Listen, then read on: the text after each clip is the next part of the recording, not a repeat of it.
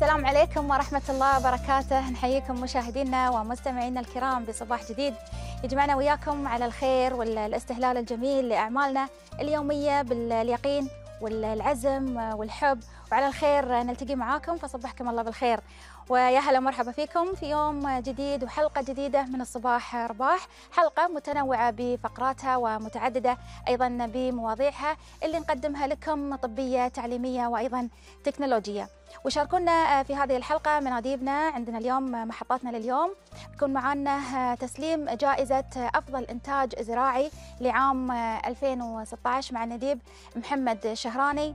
وأيضا معنا النديب غانم العلي من مركز السدره للطب والبحوث يقوم بجولة تعريفية بالمركز والعيادات. ومن مدرسة الكوثر للبنات تطل علينا الزميلة مريم المنصور لأول مرة عبر شاشة قناة الريان. تنقل لنا تفاصيل معرض الكتاب السادس. هذا بالإضافة إلى علوم الجو والبورصة وقراءة عناوين صحفنا الصادرة لصباح هذا اليوم وحوارنا مع ضيفاتنا في استديو الصباح رباح. وبداية فقراتنا بتكون من مدرسة موزة بنت محمد الابتدائية المستقلة للبنات حيث يتم تسليم جائزة أفضل إنتاج زراعي لعام 2016 في إطار حملة صحتك أولا. التفاصيل كلها بينقلها لنا النديب محمد الشهراني. تفضل يا محمد.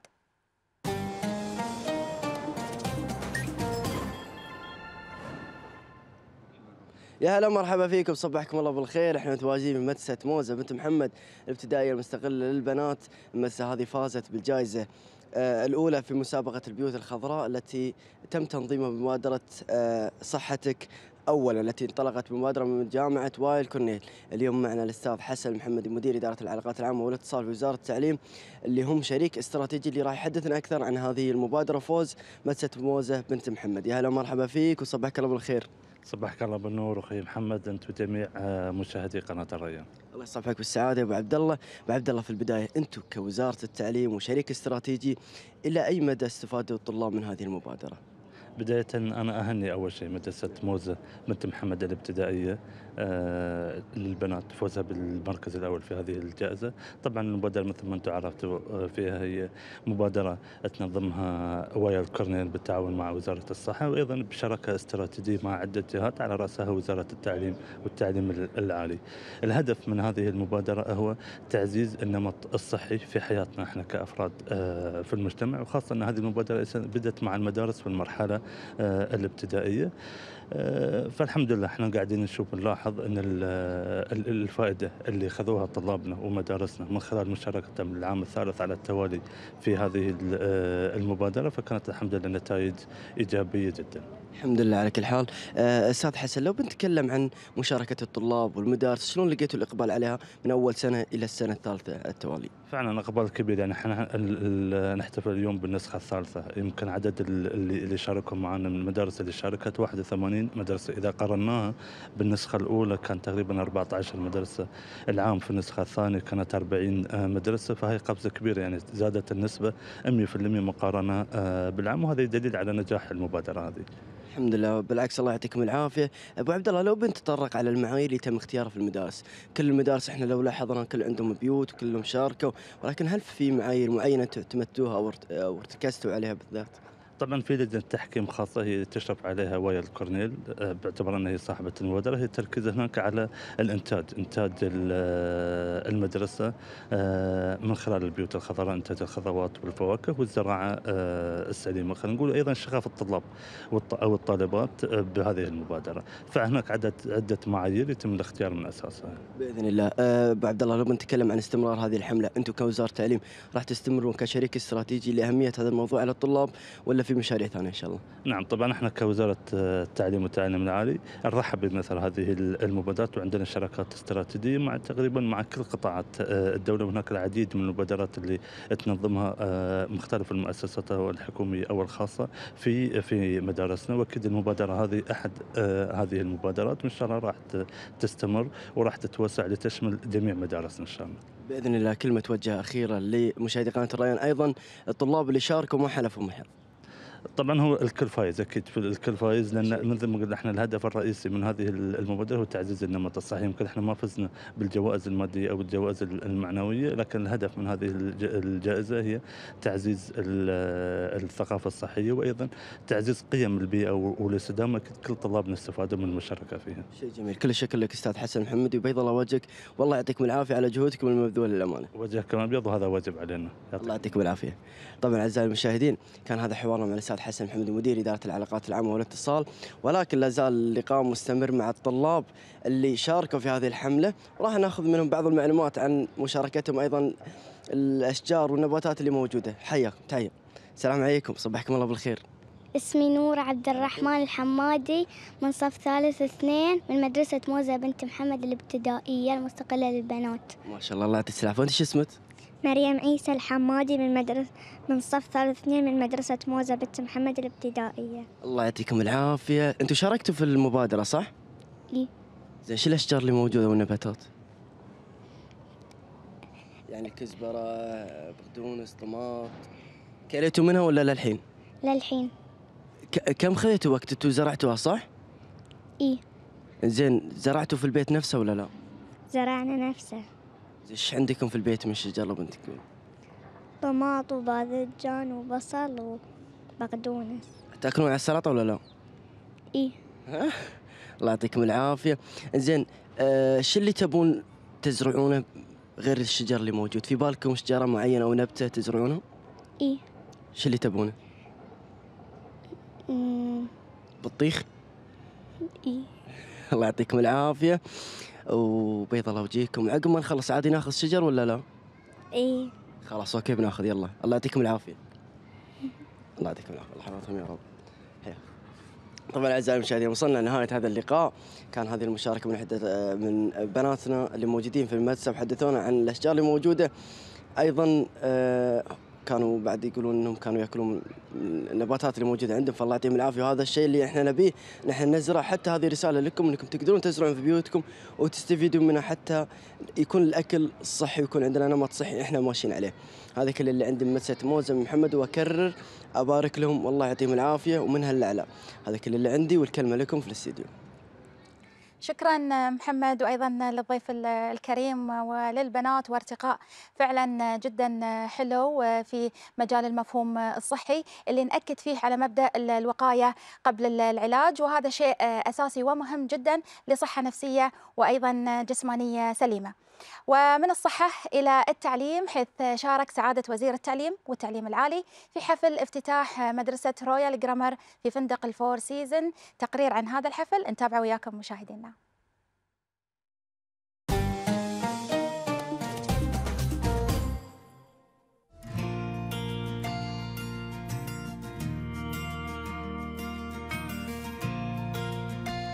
شارك سعادة الدكتور محمد عبد الواحد الحمادي وزير التعليم والتعليم العالي في حفل افتتاح مدرسة رويال جرامر البريطانية في قطر التي تطلقها القمرا القابضة حيث ستبدأ الدراسة في فصولها في شهر سبتمبر المقبل. المدرسة مدرسة عريقة بريطانية آه، رويال آه، جرامر سكول عمرها آه، يتفاوت ال 500 عام والحمد لله رب العالمين توفيق من الله سبحانه وتعالى. ودعم من رؤية آه، سمو الأمير حفظه الله ورعاه. وقدرنا أن إحنا آه، نجيبها للدوحة.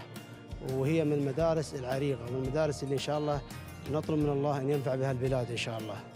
الجدير بالذكر أن المدرسة تعتبر من أعرق المدارس البريطانية حيث يعود تأسيسها إلى ما يقارب الخمسمائة سنة وتهدف الدراسة إلى خلط المتعة بالفائدة. وسيسعى فرعها في الدولة إلى تحقيق رؤية قطر في مجال التعليم.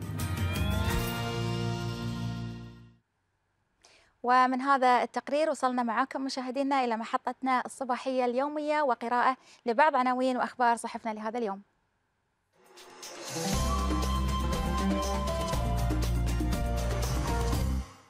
وأول جريدة معاي هي جريدة الشرق في خبرها الأول. الأمير يتلقى رسالة من سلطان عمان تتصل بالعلاقات الثنائية. وأيضا من ضمن استقبالات سموه استقبل الرئيس التنفيذي لمجموعة شل. وعندنا أيضا الخبر الثاني في محليات جريدة الشرق. التعليم آه، تعلن جداول اختبارات نهاية العام الدراسي لطلبة المدارس. تبدأ في التاسعة والنصف بدلا من الثامنة صباحا خلال شهر رمضان. والله يسر إن شاء الله. مأجورين إن شاء الله في هالموضوع. آه، عندنا أيضا الخبر الثالث من جريدة الشرق. التزام قطر بتنفيذ المشاريع التنموية ساهم بنهضة قطاع العقار. وأفتتح معرض سيتي سكيب قطر 2016 تحت رعاية معالي رئيس مجلس الوزراء ووزير الاقتصاد. وعندنا أيضا الخبر أو الجريدة الثانية هي جريدة الوطن. في خبرها الأول إلغاء احتكار استيراد السلع في قانون أصدره سمو الأمير. والخبر بتفاصيله معاكم في هذه الصفحة السابعة من جريدة الوطن. وعندنا الخبر الثاني ويل كورنيل تحتفل بتخريج 33 طبيبا في 4 مايو المقبل إن شاء الله و15% منهم قطريون. وكل التوفيق. والخبر الأخير من جريدة الوطن ملتقى القيادات يناقش تطوير الخطط المستقبلية وسط مشاركة واسعة من الجهات الحكومية والخاصة. عندنا أيضا جريدتنا الثالثة هي جريدة الراية في خبرها الأول إشادة خليجية بالابتكارات القطرية في معرض جنيف وجناح قطر حصد أربع ميداليات. والخبر اللي يليه في محليات جريدة الراية فوز 11 طالبا وطالبة في مسابقة تحدي القراءة ضمن 20 ألف مشارك من 213 مدرسة مستقلة وخاصة. وعندنا الخبر الأخير من جريدة الراية وتحديدا في الراية الاقتصادية إعادة هيكلة أسعار الوقود وربطها بالأسواق العالمية اعتبارا من مايو المقبل. وجريدتنا الأخيرة لهذا اليوم هي جريدة العرب. في خبرها الأول افتتاح مبنى الجراحة العامة بحمد خلال مايو والعمل جاري أيضا على تدريب احترافي للكوادر العاملة بالمبنى. والخبر اللي بعده أيضا من جريدة العرب ثلاث مسابقات جديدة في أسبوع الأصم العربي بالتربية السمعية لليوم الثالث وبمشاركة 11 مدرسة. وخبرنا الأخير أيضا في جريدة العرب خبر رياضي في المؤتمر الصحافي لترتيبات نهائي كأس قطر. مليون ومئتين ألف ريال جوائز للجماهير منها ست سيارات ومن أخبارنا أيضا الرياضية. طبعا خلصنا سلسلة أخبارنا من صحفنا آه، لهذا الصباح. ومن أخبارنا الرياضية عندنا أعلنت اللجنة الأولمبية القطريه عن الفريق القطري الأولمبي المشارك في أولمبياد ريو في البرازيل. والمقرر انطلاقها في الخامس من شهر أغسطس المقبل إن شاء الله. فللمزيد من الأضواء حول هذه المشاركة وحول حملة يلا قطر الترويجية. نتابع هذا التقرير.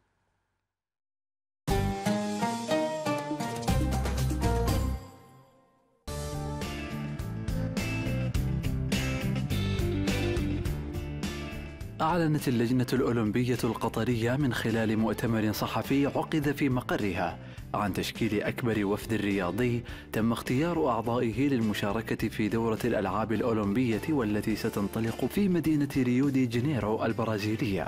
أن هذه اللحظة لحظة مهمة تاريخ تاريخية بالنسبة لدولة قطر وخاصة بالنسبة للجنة الأولمبية القطرية. طبعا اللي تبقى اليوم من اليوم نتكلم تبقى 100 يوم إن شاء الله على الأولمبياد في ريو دي جانيرو في البرازيل. وهذه المناسبة طبعا أنا يسعدني أن أنتهز هذه الفرصة للإعلان عن أكبر مشاركة قطرية بتكون في آه، هذه الأولمبياد في تاريخ الألعاب الأولمبية طبعا منذ أول مشاركة لنا في دورة الألعاب الأولمبية في لوس أنجلوس عام 1984 اللجنة أطلقت أيضا حملة ترويجية تحت شعار يلا قطر يتم من خلالها التركيز على الرياضيين القطريين المشاركين في دور الألعاب والحائزين على بطولات في مختلف المنافسات.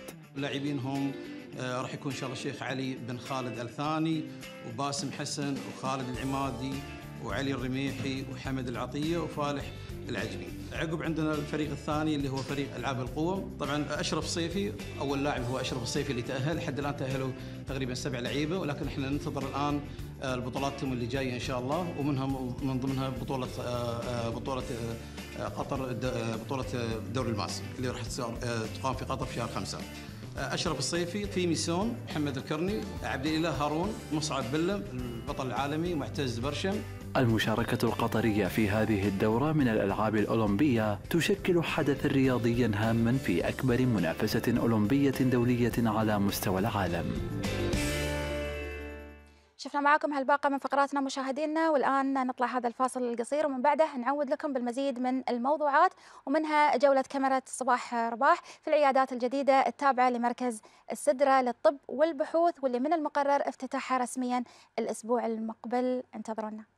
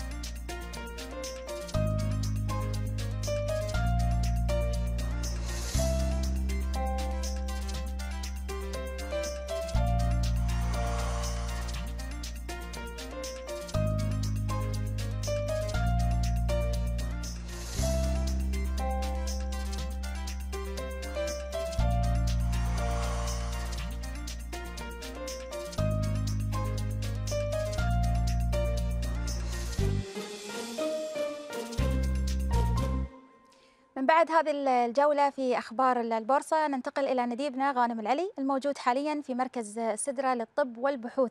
يعرفنا على خدمات العيادات الجديدة اللي آه، تفتتح رسميا يوم الأحد المقبل إن شاء الله وصبحك الله بالخير يا غانم.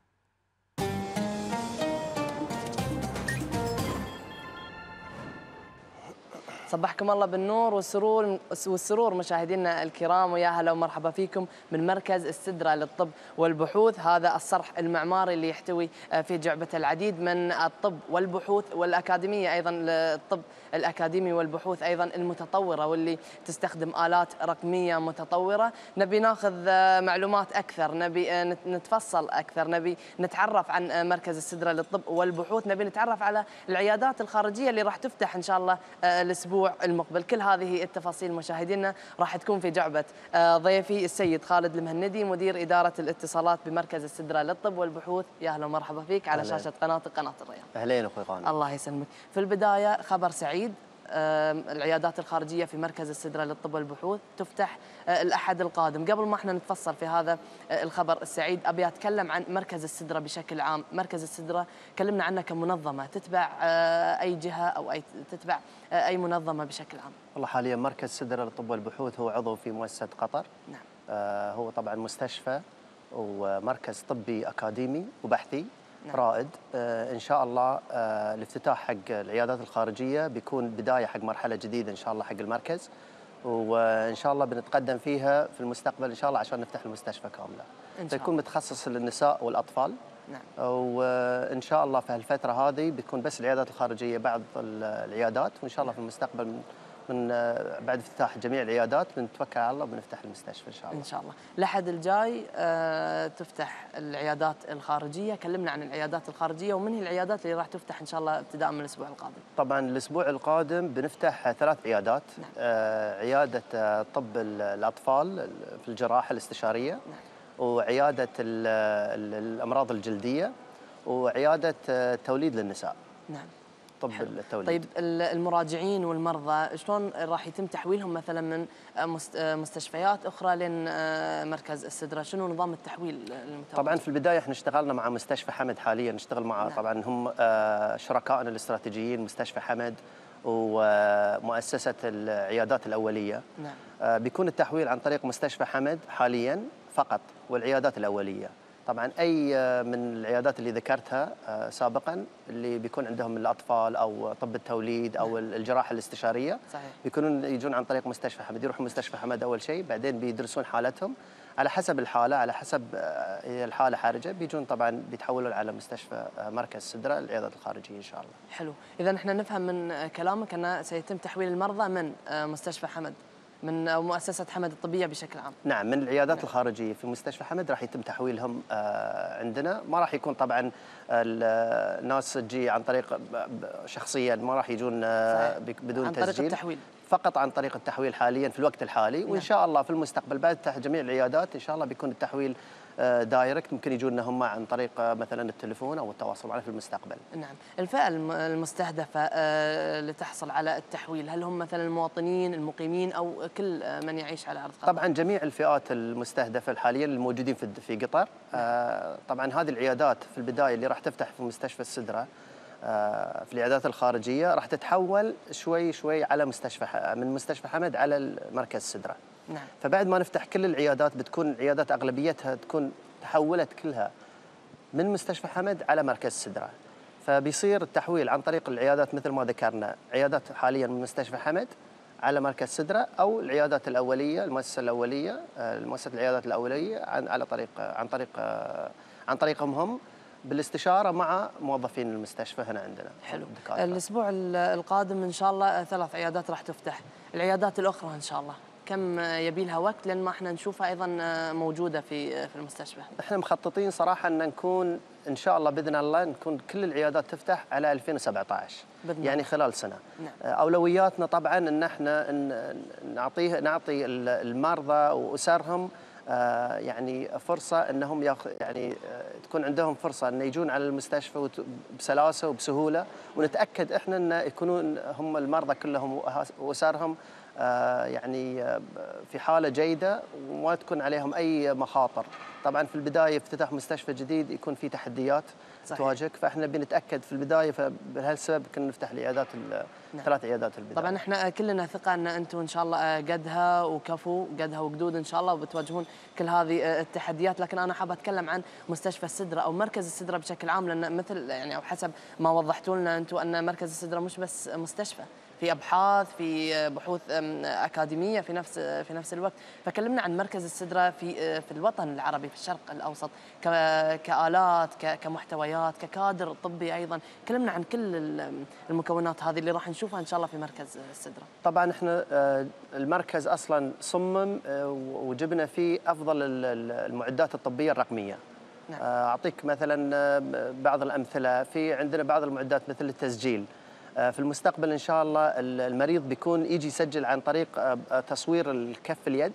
نعم. وعن طريق اعطائه حق الدكتور ال- ال- تاريخ الميلاد. في البداية أول مرة يجي بيكون تصوير له كف اليد آه، هاي تصوير ال- ال- الأشعة فوق الحمراء. نعم. وبعدين بيجي بيعطيه بيعطيه رقم ال- ال- المواليد.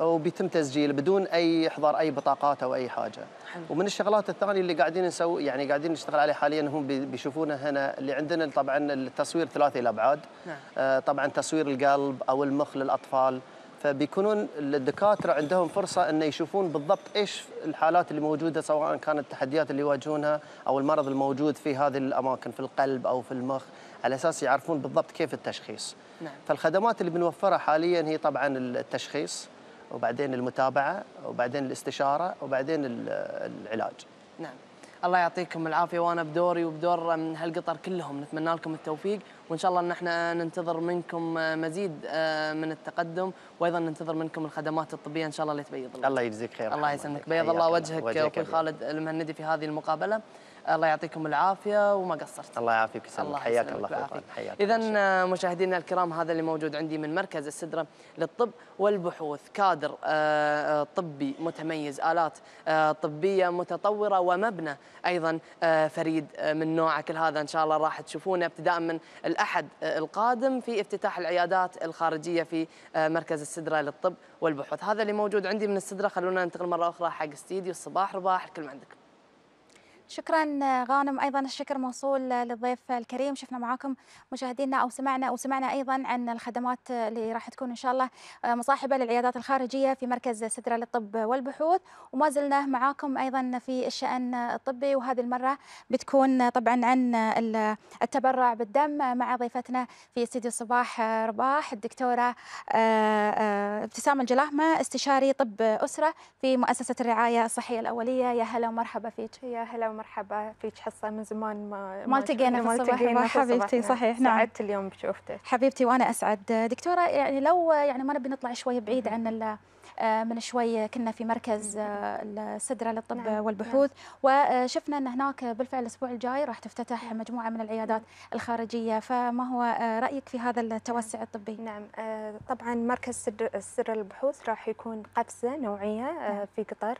أولا إحنا عندنا ضغط آه، في آه، في مستشفى النساء والولادة هو أكثر شيء راح يرك- يركز آه، اللي فهمته يعني على على الأم والطفل صحيح آه، ثلاث عيادات تقريبا اللي هو بتكون جلدية نعم. وهو المستشفى عامة راح تكون حتى وتوليد. بحوثة نعم. راح تكون عن الأم والطفل صحيح فراح يخفض ضغط رقم واحد آه، نظام ال- الملفات هو نفس النظام في سدرة مطبق. وف- آه، نعم آه، اتفقوا إن اللي هو نظام سيرنر واللي هو في آه، اللي هو الصحة الأولية نفسه فهذه راح يسهل انتقال المعلومات ويعني لما يجينا المريض سواء من سدرة أو هو رايح من سدرة جاي من الرعاية الأولية أو من حمد راح آه، نعرف معلومات. ثاني شيء وثالث شيء واللي هو أهم نقطة إن مركز سدرة نوع- نوعيته هو مو بس آه، يعالج. هناك بحوث.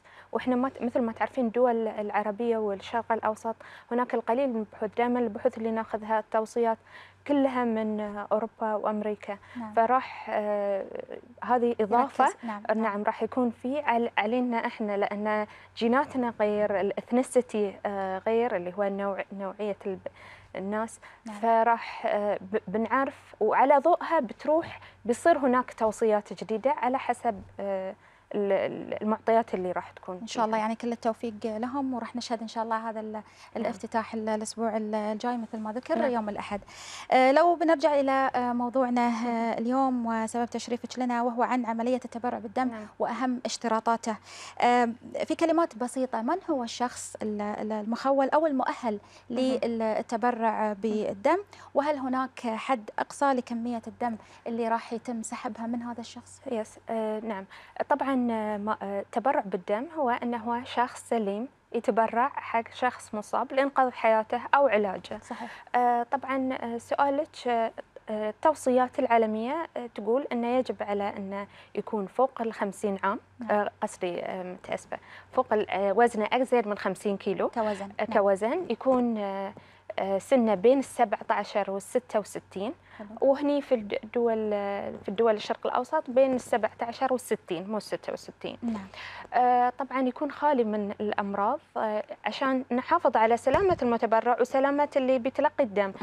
آه، المريض يجب انه يكون هيموجلوبينه إذا كانت امرأة بين 12 ونص ل 16 والرجل بين آه، بين 13 ونص ل 18 نعم. عشان ما لأن إحنا بناخذ الهيموجلوبين منه ما نبي يصير يقل عليه الهيموجلوبين نعم. آه، أيضا يكون خالي من الأمراض المعدية مثل كبد الوبائي بي وسي والمرض الزهري وال- والمرض نقص المناعة عشان إحنا ما نعرض ال- الشخص اللي ياخذ الدم إلى خطر. نعم طيب يعني آه، فكرة التبرع بالدم أيضا آه، فيها من ال- الفوائد اللي ترجع على الشخص نفسه. نعم. لو نتكلم عن هذه الفوائد دكتورة. آه نعم. آه طبعا آه لما انت تاخذين الدم تتجدد الخلايا فتنشط الدورة أول شيء هذه نشاط الدوره للأصحاء. للأصحاء نعم. طبعا. تتجدد الدورة الدموية. نعم. طبعا وحتى الأشخاص اللي هو- يعني زيادة الهيموغلوبين في الدم نعم. تسبب تجلطات في القلب في الشرايين فهي تقلل من من هذه اللي هو مرض اللي هو التجلطات أو آه، انسداد الشرايين. طيب هو صحيح أن الإنسان الصحي ممكن لما يتقدم للتبرع بالدم. آه، هناك أيضا بجانب يعني تقدمه في أمور يجب يعني مراعاتها. لما يعني آه، يتبرع نصائح مثلا آه، مهمة يعني هل هو مثلا لو أنا فكرت وشفت نفسي نعم. يعني أن الشروط مطابقة لي وجيت أبي أتبرع في الدم نعم. أجيكم مثلا صايمة ولا أجي؟ نعم، نعم. على حسب طبعا هو التبرع بالدم هو نعم. عملية بسيطة تستغرق 15 دقيقة. حلو. آه، إبرة المفروض إنه هو ما يحس بألمها. نعم. طبعا هي تاخذ ساعة لأن إحنا بعد عملية التبرع ننصح المريض لأنه هو سائل نص لتر تقريبا 470 ام ال فنص لتر تقريبا نسحب منه. نعم. فإحنا ما نبي يحس بدوره لأنه بنزول الضغط. صحيح. نعم فننصح المريض إنه يستلقي. فهاي العملية كلها تاخذ ساعة لأنه ما بعد ما بعد اللي هو عملية آه، سحب الدم. السحب. طبعا ننصح آه، ال- ال- الشخص المتبرع نعم. إنه أول شيء يكون نايم زين آه، في خلال 24 ساعة السابقة ما مسوي رياضة أو جهد شديد. آه، شارب سوائل وايد قبل عملية التبرع لأنه مثل ما قلت لك في سائل راح يطلع ينسحب نعم. السحب نعم. آه. آه، آه، أيضا إنه هو ما ننصحه بالتدخين أو شرب الكحول قبل عملية السحب أيضا بعد عملية السحب. مثل ما قلت لك نخليه مستلقي نعطيه الكثير من السوائل والعصيرات عشان يعوض اللي هو السائل الموجود. بالنسبة حق ال- الهيموغلوبين أو كريات الدم الحمراء والصفائح الصفائح والكريات الدم البيضاء تأخذ من ثلاث إلى سبعة أيام الجسم راح يعوضها. آه، بالنسبة حق الكرات الدم الحمراء تأخذ شهر. بالنسبة حق السوائل من نعطيه آه، السوائل خلال ساعات يسترجع ال- اللي هو حجم السائل اللي راح منه. طبعا يعني هو مسألة عملية التبرع بالدم آه، يعني نعم. مش غريبة على آه، كل يعني آه، مواطنين ومقيمين هالقطر نعم. مثل يعني ما جاء في الآية ال- الكريمة ومن أحياها فكأنما أحيا نعم. الناس جميعا نعم. فيعطيك العافية دكتورة على هذه المعلومات وأكيد بتكون لنا أيضا هذه ال- الجلسة أن إحنا نتبحر وناخذ تفاصيل مواضيع أخرى وشرفتينا في الصباح رباح يا هلا فيك حصة. يا هلا ومرحبا فيك إذا من عقب فقرتنا الحوارية هذه الأولى في الصباح رباح نطلع معاكم هذا الفاصل مشاهدينا وانتظرونا في جديد عالم التكنولوجيا.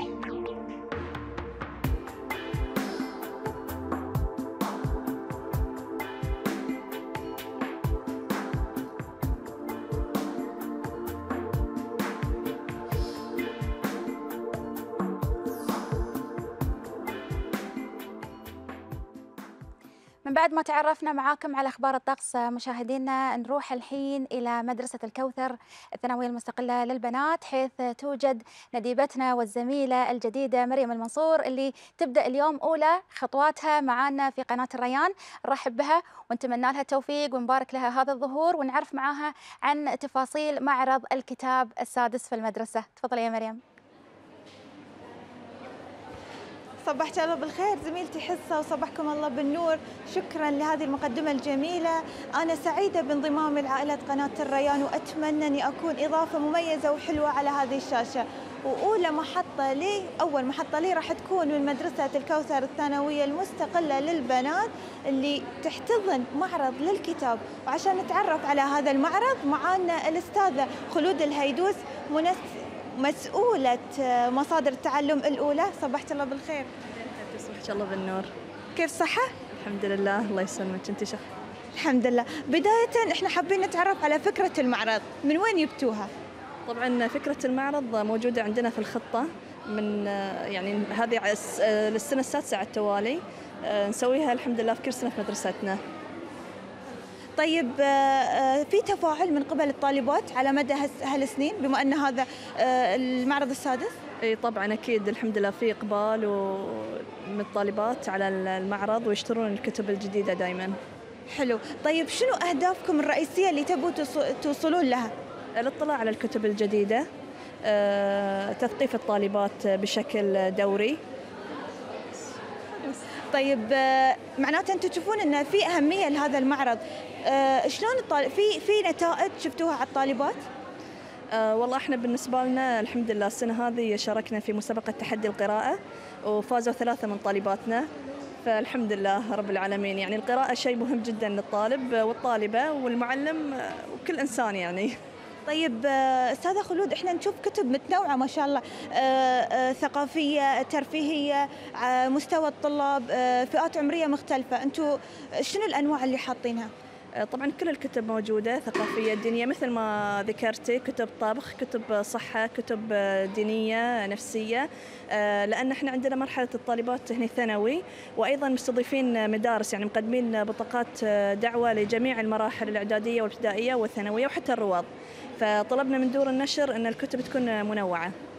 آه أنتم آه قلتوا حق دو... أنتم طلبتوا من دور النشر انه يجون أو أن هم آه بنفسهم لا طبعا إحنا نطلب منهم عن طريق المراسلة بالإيميل ويجينا الرد بالموافقه أو الرفض. طيب مثل ما قلنا الفئات العمرية جميع الفئات. هل هذا متاح بس حق طلاب المدارس ولا حق الجمهور بشكل عام؟ ممكن أولياء الأمور ومدرسين المدارس الأخرى لكن الجمهور عامة لا طبعا. طيب بشنو يتميز هذا المعرض عن غيره من المعارض؟ إحنا عندنا معارض وايد تستوي، لكن هذا المعرض بشنو يتميز؟ هل هو حق بس الطلاب؟ هل هو في تشجيع حق الطلاب بشكل خاص داخل المدرسة؟ طبعا انه هو بيكون نشاط خاص لطلاب أو لطالبات مدرسة الكوثر الثانوية للبنات وأيضا السنة في يعني أخت هنا شاركتنا أعمالها يدوية فبعد شيء جديد في المعرض عندنا شيء جديد ضفتوه في المعرض لأول مرة أعمال يدوية. طالبة أو هي طالبة جامعية قطرية بس للأسف غابت اليوم. هذا دعم منكم لها يعني؟ أيوة طبعا دعم منا لها. طيب كلمة أخيرة تحبين تقولينها حق طلابنا؟ أتمنى لهم دوام التوفيق والنجاح ودائما إنهم يكونوا مثقفين إن شاء الله وناجحين في حياتهم العلمية والعملية. وشكرا لكم أنتم أيضا. شكرا لك شكرا لك خلود الهيدوس أستاذة أستاذة مصادر التعلم مسؤولة مصادر التعلم مشاهدينا إحنا نحيي صراحة هذه الخطوة من مدرسة الكوثر. هذا تشجيع كبير للطلاب ومثل ما نشوف طالباتنا موجودين هني. فنتمنى صراحة الكل يمشي على هذا الخطة. هذا كل ما عندي من من مدرسة الكوثر الثانوية المستقلة للبنات. أرجع لزميلتي حصة بالاستديو شكرا مريم ويعطيك العافية وأيضا شكر موصول للضيفة الكريمة ووفقك الله إن شاء الله فيما يحب فيما يحبه ويرضاه. وما زلنا معكم مشاهدينا. نقتطف من الحقل التعليمي أزهارة حيث فازت مدرسة الخنساء الابتدائية المستقلة للبنات بالمركز الثاني في مسابقة البحث العلمي بالمعرض الوطني الثامن لأبحاث الطلبة 2016 وذلك في تخصصي الإنسانيات والعلوم. للحديث أكثر عن هذا الإنجاز وأهميته وبركاته معنا آه، المعلمة الفاضلة حصة الدرهم آه، معلمة مسار أدبي في مدرسة الخنساء الابتدائية المستقلة للبنات. يا هلا ومرحبا فيك أستاذة حصة. شرفتينا صباح الله رباح يسلمك صباح النور. الله يسلمك. آه، أستاذة المدرسة فازت مثل ما يعني قلنا في البحث العلمي في تخصص ال- ال- الإنسانيات آه، والعلوم. الأدبي والعلوم في الأدبي والعلوم. طبعا آه، هذا التخصص لو تحدثينا آه، عنه أو عن آه، الفوز في هذا ال- التخصص آه، لو نقول في البداية العلمي. الأبحاث آه، طبعا انقسمت قلنا مثل في البداية مثل ما تشرفتي الأبحاث سلمك. أدبية وأبحاث علمية. بالنسبة للبحث العلمي كان عنوان البحث عن أثر استخدام استخلاص مادة تسمى مادة الشث الددونيا كمادة بديلة للتعقيم في مياه آه، قطر كبدال بدال مادة الكلور لعام 2030 حيث قامت طالبات ال- المدرسة بإشراف المعلمة اللي هي مشرفة البحث الأستاذة ياقوت العجي نعم. بإجراء عدة تجارب واستكشف يعني استكشفوا أن مادة الكلور طبعا لها آثار كثيرة مهم. على صحة ال- الإنسان. صحيح. بالنسبة لجسده جلديا وصحيا. صح فقالوا لماذا لا نس يعني قدموا اقتراحات للطالب الطالبات. طبعا بعد إعداد التجارب بعد التقصي بعد البحث وتقديم اقتراحات من قبل الطالبات. نعم. فاختاروا مادة هذه آه، موجودة في البيئة القطرية. تعتبر هي اولا توافر متوفرة في البيئة القطرية. حلو. ثانيا إن هذه المادة آه، مادة طبيعية يعني لا آه، بعد التجارب أثبتت إن هي لا تسبب أشياء مثلا ضارة لصحة نعم. الإنسان. وفوق هذا كله إن هي غير مكلفة آه، غير مكلفة آه، ماديا. صح. ف ف يعني استكشفوا إن هذا من خلال البحث العلمي نعم. آه، طبعا ذهبوا رحلات ميدانية ولمختبر إدارة آه، الجودة والسلامة في هيئة أشغال. نعم. آه، فاستخلصوا هذه المادة من النبات وعملوا تجارب على عدة آه، بكتيريا وفطريات فأثبتت جودتها وأثبتت فعاليتها. وتقدموا فيها أيوه لل- أيوه في تعقيم المياه نعم. بدل الكلور. طيب هذا من الجانب العلمي. العلمي والجانب الأدبي؟ الجانب الأدبي آه، قدمت آه، الأستاذة المشرفة البحث آه، الاستاذه فداء رسمي. نعم. بحث أدبي اللي هو أثر استخدام جهاز يسمى جهاز سكة. تم تركيبه في جهاز المتحرك. للأجهزة المتحركة ال- ذوي الاحتياجات الخاصة اللي يقعدون على كراسي متحرك كراسي متحركة. نعم. بتركيب جهاز يضيء إشارة ضوئية ليزر. بتق... بتحد... يعني يحدد مسارين. المسار ال- الأيمن والأيسر. نعم. والجهاز هذا يتركب فيه في في الكرسي المتحرك نفسه. نعم. آه، يعتبر هذه إشارة ضوئية لسهولة آه، التواصل مع ال- المارين. لمنع الازدحام. طيب يعني في أستاذة الأماكن العامة. من الواضح أنه يعني بالفعل مجهود جدا علمي وأكاديمي وضع في آه، يعني هذه ال- ال- ال- الأبحاث. فال- فالفوز يعني ما جاء من أي. آه، فراغ. فما هو الدعم اللي بالفعل وال- والبيئة اللي تهيأت. للطلاب والطالبات اللي يعني خلاهم يفوزون آه، ويصلون إلى هذا المستوى؟ طبعا هالشيء المدرسة لها دور أساسي. نعم. وخاصة أن هي المؤسسة الأولى في تحفيز الطالب على صح. الإبداع والابتكار. فلا يوجد آه، مثلا بيكون لم- لما يكون آه، يتعود الطالب على آه، دوره الباحث. نعم. المبدع اللي من يوم منذ الصغر. فتعود الطالب على ال- إجراء التجارب وعلى الإبداع والابتكار. كان في احتضان. أيوه طبعا. نعم. فيكون ودور احتضان. أولياء الأمور معاكم في هذا الشأن شلون كان؟ لا طبعا أكيد إنه دور كبير منهم يشجعونهم. فخاصة بالموافقة بالمشاركة آه، تقديم الدعم لهم. خاصة ال- الطالب إذا لم أجرى التعلم ذاتي يقوم هو بنفسه بالبحث لا يستطيع أن يتوصل إلى المعلومة بنفسه. يعني التلقين والتل... آه، ليس نفس قبل حفظ وتلقين لا.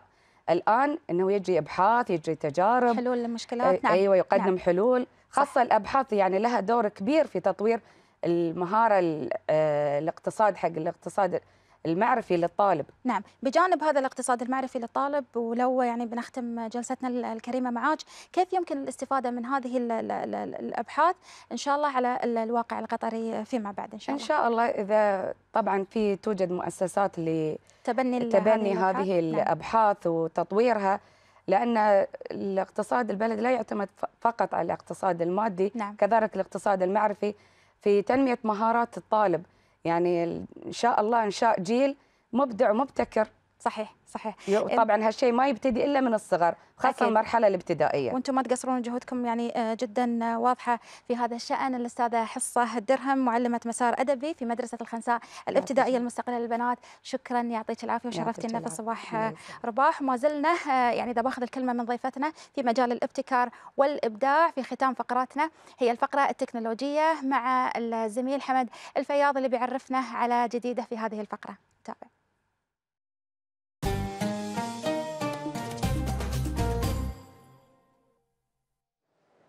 السلام عليكم ورحمة الله وبركاته. حياكم الله مشاهدينا ومستمعينا الكرام. ومثل ما عودناكم في فقرة ال technology إن إحنا نأخذكم في جولة في محل من المحلات ونعرفكم على كل شيء جديد. إحنا في Virgin Landmark يمكن اليوم بنتكلم على السماعات. Beats لا مو Beats شيء جديد. هو الشركة مو بجديدة. شركة Monster هي واحدة من الشركات اللي كانت تسوي development حق ال Beats والآن انتقلت إلى upgrade أعلى. وجابت لنا هذه السماعة. كريستيانو هو يعتبر السفير آه، الحصري آه، لهذه السماعة. والسماعة هذه تم التطوير فيها بشكل كبير ونزلوا منها السماعة العادية وسماعة headset خلينا نتعرف عليها عن قرب وشنو داخل السماعة وشنو مميزاتها. طبعا نلاحظ أن ال packaging مميز جدا آه، لهذه السماعة وأن هي limited edition وأنيقة إلى أقصى الحدود. طبعا السماعة آه، لها آه، من مميزاتها إن هي لها شقين شق ال sport وشق ال- العادي. الآن اللي تشوفونه اللي هو شق ال sport وممكن تستخدمها أثناء الرياضة وهي wireless وهذه من ضمن الأشياء الجميلة اللي فيها. وإذا أنت تبي تستخدمها في الأيام العادية بس أنت تغير الربل هذا وتركب الربل اللي إحنا متعودين عليه إنه يكون للربلز العادي. طبعا غير التقنيات اللي موجودة فيها وال packaging وطبعا آه، ما نسوا إنهم يخلون لك آه، نفس الجراب الصغير عشان تحافظ على السماعة وما تضيع بعد استخدامها. من ال box ال- آه، اللي هي موجودة فيه. الآن ننتقل إلى سماعة ال- الأكبر واللي هي آه، المميزات اللي فيها إن هي ممكن تستخدمها على جميع الأجهزة مش شرط آيفون أو آه، أو آه، أندرويد أو iOS أو أي شيء، لا ممكن تستخدمها على جميع الأجهزة اللي أنت تبي تتعاون فيها. طبعا again مرة ثانية نتكلم عن ال packaging وجمال ال packaging شلون طريقة التغليف وشلون وضع السماعة بهذا الشكل وتبين مدى الأناقة. وصراحه السعر جدا مناسب بالنسبة للتقنيات والجمالية اللي إحنا نشوفها في السماعة. هذه السماعة آه، تعتبر آه، من السماعات اللي طبعا آه، تراعي إن أنت الماجنتيك ما يكون وايد عالي على إذنك على أساس إن أنت ما تسبب أضرار لإذنك وإن هي تكون تنافس كل السماعات العالمية. زائد إن هي فيها نوعين نوع wire ونوع wireless ال- النوع هذا اللي إحنا نشوفه هو نوع ال wire وطبعا نفس ما كان في السماعة الصغيرة جراب على أساس إن أنت تقدر تستخدمها في أي مكان. هذه الوايرات الخاصة فيها وعندهم بعد version ثاني للسماعة wireless طبعا الجميل في هذه السماعات إن هي الآن تنافس بقوة ال Beats والآن آه نعتقد إنهم بيكون لهم مكانة كبيرة وخاصة إنهم يستخدمون مشاهير ويستخدمون لعيبة كورة وهذه أول مرة يستخدمون لاعب كرة قدم إنه هو يكون سفير لهم على أساس تسويق هذه السماعة. وهو تبنى الفكرة بعد استخدامه لهذه السماعة واكتشف إن هذه السماعة بالفعل مفيدة جدا له وللآخرين. طبعا مثل ما عودتكم مش فقط إحنا بنتعرف على شيء جديد أو بنجرب شيء جديد. أنا صراحة ودي أرجع بكم شوي للماضي. خلينا نسوي دمج بين الماضي والحاضر. سامسونج 78 إنش. طبعا من التلفزيونات الأنيقة. ال 4K يعني ال top of high definitions ال HD وطبعا ال curve اللي موجود فيه زائد resolution يمكن أنتم تلاحظون إن في مشكلة في ال resolution الآن ولكن هو ما في مشكلة في ال resolution المشكلة في اللعبة اللي إحنا نبي نلعب بها في هذا التلفزيون. خلينا نشوف لعبتنا. أيوه أيوه تذكرون هاي ولا ما تذكرونه؟ من فيكم اللي يذكره ومن اللي فيكم ما يذكره؟ هذه الألعاب ألعاب الأتاري آه، طبعا الشركة فكرت إن إن شلون هي ترجع الألعاب بشكل أكبر. ها صدته. زين هي آه، تغير ال- ال- الألعاب القديمة اللي إحنا تعودنا عليها وعشنا عليها في آه، نهاية السبعينات وبداية الثمانينات وشلون إنه يخلون أبنائنا الآن يستمتعون. طبعا من الأشياء الجميلة اللي إحنا طلبناها إنهم يعلوا لنا الصوت لأن بالفعل هذه الألعاب ما تنفع غير بالصوت العالي لأن جمالية هذه الألعاب في صوتها. طبعا ال- الجميل في هذه الأتاري إن فيها أكثر من 100 لعبة داخل هذا الجيم وأنت ممكن تستمتع فيه بشكل أجمل وأجمل. طبعا الهدف إن إحنا نرجعكم للماضي شوي لأن بالفعل الآن جاية الإجازات وإن شاء الله عيالنا يخلصون امتحاناتهم وينجحون محتاجين إن أشياء ترفيهية فعشان نبعدهم عن روح السوني والأش... وال... والألعاب الجديدة وال 3 دي وال... والقتالية شوي. ممكن إحنا نرجعهم للأتاري على أساس إنهم يستمتعون فيها ويلعبون بها. وإحنا ممكن أعتقد ان لا مش إحنا. أنا متأكد إن إحنا بنتنافس معاهم على أساس مين يلعب قبل الثاني. لو تذكرون صاحب الأتاري ما يقوم من عليها. لين ما يزهق بعدين يأخذ الجهاز حق خويه. الحين لا أنت في البيت تنافس مع ولدك مين اللي يفوز؟ على أساس إن أنت تعطيه الجهاز وما في شيء اسمه إحنا الاثنين نلعب مع بعض. بعد ما يخلص الثاني يجي دوره. وه- وهلم جره. فإن شاء الله إن أنتم تستمتعون في هذه الأجواء. طبعا آه، إحنا قلنا لكم الأسبوع اللي طاف إن بنجيب لكم الهواوي البي 9 ولكن للأسف تأجل آه، إصدار الهواوي. ولكن عندي بعض المعلومات اللي بختم بها فيها فقرتنا هذه. الهواوي اللي نازل جديد نازل بكاميرتين في الخلف كاميرا أبيض وأسود وكاميرا ألوان وهذا يساعد إنه يخليه التصوير آه، في آه، في ال- في التليفون نفسه يكون عالي الجودة بشكل مخيف. البصمة للتليفون من الخلف على أساس يكون فيها سرعة إن أنت تفتح التليفون وتسكره وبعد الشاشة والريزولوشن اللي فيها عالي جدا. إن شاء الله يكون معانا التليفون لأن الإصدار ماله الأسبوع المقبل. ونشرح لكم أكثر عن هذا التليفون أمامكم. ونجربه ونشوف شنو مميزاته. وأنا من يعني متوقعين إن الهواوي بيكون منافس قوي للآيفون وللسامسونج قريبا جدا. أتمنى إن أنتم استمتعتوا معنا في فقرة تكنولوجيا نلتقي معاكم في فقرة جديدة إن شاء الله الأسبوع القادم. تقبلوا منا أجمل التحايا. فأمان الله. شكرا حمد وفي انتظار جديدك للأسبوع الجاي وفقرة تكنولوجيا تربطنا بالزمن الأصيل وزمن الطيبين فلونا وجراندايزر شيء جدا وايد حلو. وبهذه الفقرة يكون إحنا وصلنا معاكم لنهاية حلقتنا لليوم. يشرفنا طبعا تواصلكم المعتاد على مواقعنا المختلفة الظاهرة أمامكم على الشاشة. ونشوفكم باكر إن شاء الله على خير في حلقة جديدة من الصباح. رباح مع السلامة.